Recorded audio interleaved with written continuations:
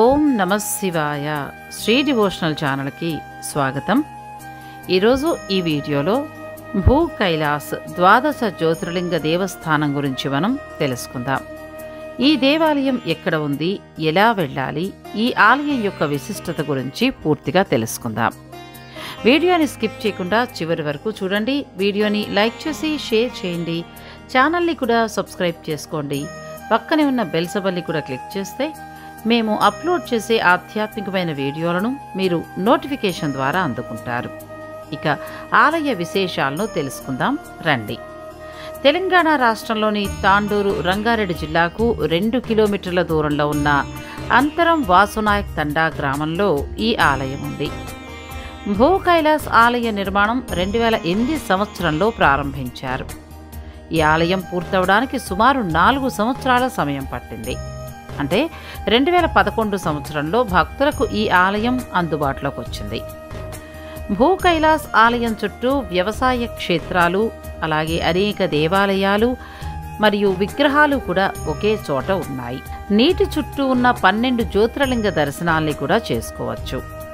అంతేకాదు కాలభైరవ విగ్రహం అరవై ఐదు అడుగుల ఎత్తైన శివుని విగ్రహం వీరభద్ర విగ్రహం హనుమాన్ విగ్రహం నవగ్రహ మండపము అయ్యప్ప స్వామి దేవాలయం సాయిబాబా మందిరము వినాయక దేవాలయం దత్తాత్రేయ స్వామి దేవాలయం రాఘవేంద్ర స్వామివారి దేవాలయం సీతారామ మందిరం పంచముఖి హనుమాన్ దేవాలయం కాళికాదేవి ఆలయంతో పాటు చెరువు అంటే ఇక్కడ స్వామివారికి సంబంధించిన కోనేరు కూడా ఉంది. ఇక ఆలయంలో సౌకర్యాల విషయానికి వస్తే యాత్రికులకు గదుల సౌకర్యాలు కూడా అందుబాటులో ఉన్నాయి. నిత్యాన్నదానం కూడా ఇక్కడ నిర్వహించబడుతోంది.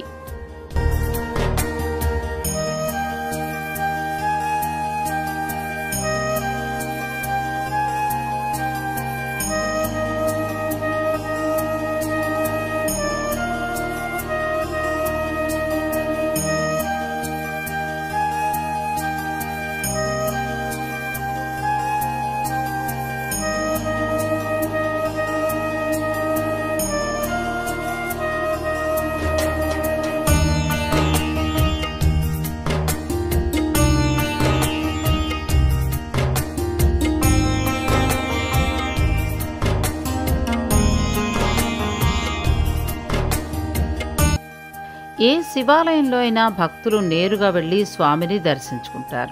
కానీ ఈ ఆలయంలో ప్రత్యేకత ఏంటో తెలుసా? భక్తులు నాలుగు అడుగుల నీళ్ళలోంచి వెడుతూ ద్వాదశ జ్యోతిర్లింగాల్ని స్పృశించుకుంటూ వెళ్ళి గర్భాలయాన్ని చేరుకోవాల్సి ఉంటుంది. భూ కైలాసంగా పిలిచే ఈ ఆలయంలో ఇతర దేవతల విగ్రహాల్ని కూడా మనం దర్శించుకోవచ్చు. విశాలమైన ప్రాంగణంలో పచ్చని చెట్ల మధ్య కనిపిస్తుంది భూ కైలాస్ ఆలయం. ఈ ఆలయ ప్రాంగణంలోకి అడుగు పెడితే చాలు. మొదటగా మనం అరవై ఐదు అడుగుల ఎత్తైన భారీ శివుని విగ్రహాన్ని దర్శించుకోవచ్చు. ఆ తర్వాత నీటి మార్గం ద్వారా లోపలికి వెళ్ళేలాగా ప్రత్యేక ఏర్పాటు. ఆ నీటిలోనే ద్వాదశ జ్యోతిర్లింగాలు ఉంటాయి. తెలంగాణ రాష్ట్రంలోని వికారాబాద్ జిల్లా తాండూరు మండలం అంతారం తండాల ఉండే ఈ పరమశివుణ్ణి దర్శించుకుంటే చాలు. కష్టాలన్నీ తొలగిపోతాయనేది భక్తుల నమ్మకం. ఇక స్థల పురాణం విషయానికి వస్తే అంతారం తండాలో ఉంటున్న వాసు పవార్ నాయక్ అనే శివభక్తుడు.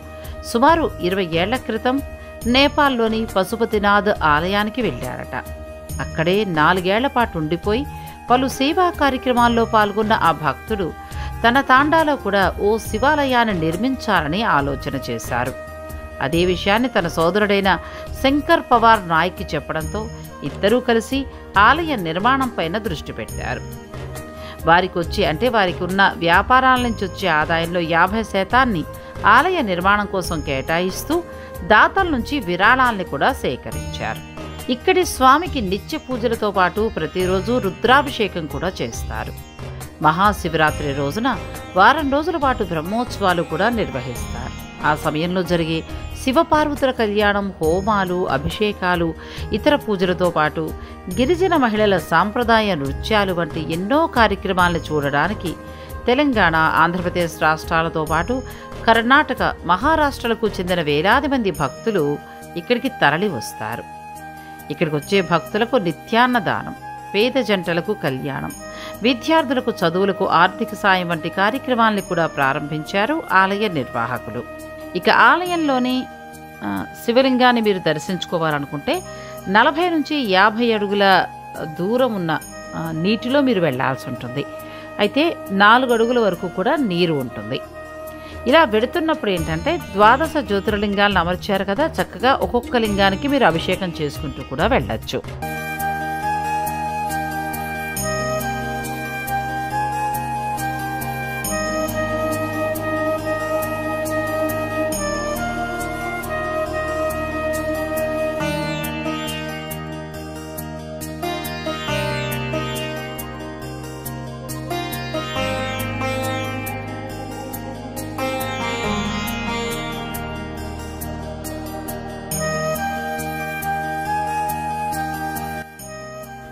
ఈ పుణ్యధామంలో ఇక్కడ అరవై ఐదు అడుగుల శివుని విగ్రహం మరియు ముప్పై ఐదు అడుగుల ఆంజనేయ స్వామి విగ్రహాన్ని మనం దర్శించుకోవచ్చు. శివుని విగ్రహం కింది భాగంలో శివలింగాన్ని ప్రతిష్ఠించారు. అంతేకాదు ఆలయ ప్రాంగణంలో శివాలయంతో పాటు చాలా రకాల ఉపాలయాలు కూడా ఉన్నాయి. ఇలా అందరు దేవగణాలు ఒకే దగ్గర ఉండడం వల్ల మనకు భూలోకంలో ఉన్న కైలాసంలా అనిపిస్తుంది. ఇది చాలా అందంగా ఉన్న ప్రదేశం. అవకాశం ఉన్నవారు తప్పకుండా సందర్శించండి. హైదరాబాద్ నుండి మీరు మూడు గంటల ప్రయాణం చేస్తే ఈ ఆలయానికి చేరుకుంటారు. సొంత వెహికల్ ఉంటే కనుక వికారాబాద్ అనంతగిరి కొండ అడవి వైపు నుంచి మీరు వెళ్ళటానికి ప్రయత్నం చేయండి. ప్రకృతి అందాలని చూస్తూ చక్కగా ఈ ఆలయానికి వెళ్ళొచ్చు. ఉదయం ఎనిమిది గంటలకు మీరు హైదరాబాద్ నుంచి బయలుదేరితే తిరిగి సాయంత్రం నాలుగు గంటలకు చక్కగా మీరు తిరుగు ప్రయాణం కావచ్చు. అయితే సరైన రెస్టారెంట్లవి లేవు అక్కడ కాబట్టి మీరే కొంత ఆహారం అంటే ఫుడ్ వంటివి రెడీ చేసుకుని పట్టుకెళ్తే చాలా మంచిది. మీరు వికారాబాద్ నుంచి అంటే అనంతగిరి కొండల వైపు నుంచి మీరు వెళ్ళాలి అని అనుకుంటే కనుక ముందుగా అనంత పద్మనాభ స్వామి వారి ఆలయాన్ని దర్శించుకుని అక్కడి నుంచి తాండూరు వైపుకి వెళ్ళొచ్చు. అక్కడి నుంచి ఈ ఆలయానికి నాలుగు కిలోమీటర్ల దూరమే ఉంటుంది కాబట్టి సులువుగా మీరు చేరుకోవచ్చు.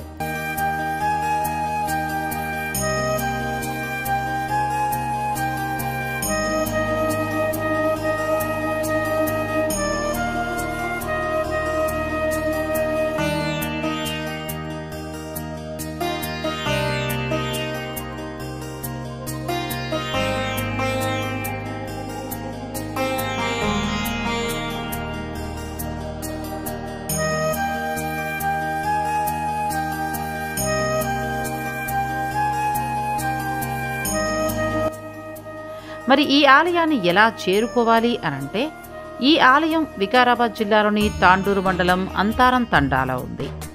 హైదరాబాద్ నుంచి రైళ్ళు బస్సులు ప్రైవేటు వాహనాల్లో మీరు తాండూరుకి చేరుకోవాల్సి ఉంటుంది. అక్కడి నుంచి నాలుగైదు కిలోమీటర్లు ప్రయాణిస్తే చాలు. ఆలయాన్ని మీరు చక్కగా చేరుకోవచ్చు.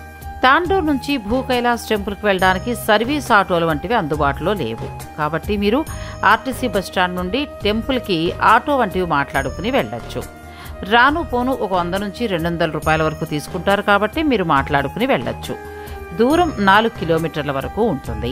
ప్రకృతి అందాలతో పాటు ఆధ్యాత్మిక భావన కూడా కలిగించే ఈ యాత్ర మీకు ఎంతో ఉల్లాసాన్ని అలాగే ఉత్సాహాన్ని కూడా ఇస్తుంది. అవకాశం ఉన్నవారు తప్పకుండా ఈ ఆలయాన్ని దర్శించండి. అది కూడా మన హైదరాబాద్కి చాలా దగ్గరలోనే ఉంది కాబట్టి. మరి ఈ వీడియో కనుక మీకు నచ్చినట్టయితే లైక్ చేసి షేర్ చేయండి. ఛానల్ని కూడా సబ్స్క్రైబ్ చేసుకోండి. పక్కనే ఉన్న బెల్ సింబల్ని క్లిక్ చేయడం మాత్రం మర్చిపోద్దు. నమస్తే.